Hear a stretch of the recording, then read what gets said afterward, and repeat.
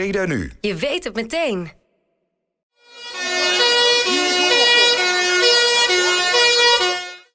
Loeiende sirenes in Prinsenbeek, want de vrijwillige brandweer bestaat 225 jaar. Dat werd gevierd met een open dag.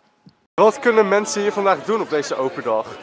Ja, wij hebben eigenlijk een eh, zo breed mogelijk beeld eh, van de brandweer eh, neer willen zetten. Dus eigenlijk eh, alles wat te maken heeft met eh, hulpverlening.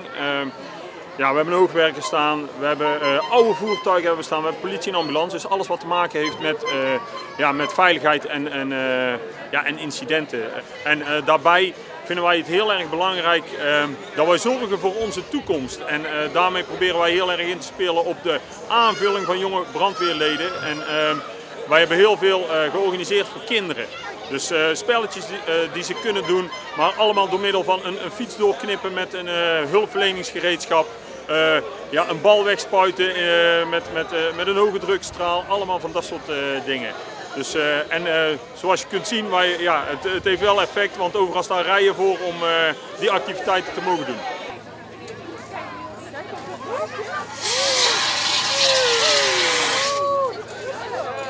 Kunt u kort vertellen hoe jullie je in de afgelopen jaren hebben ontwikkeld?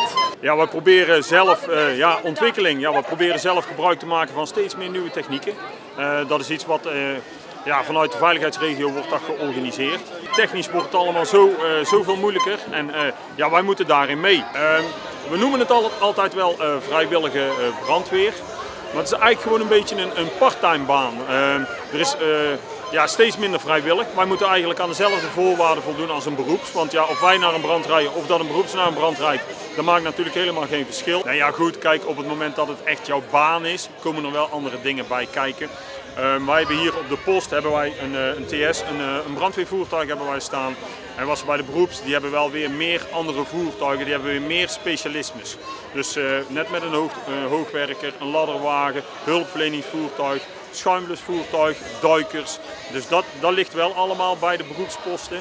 Maar wij, eh, ja, wij zijn daar gewoon eigenlijk ook een, eh, een soort aanvulling op.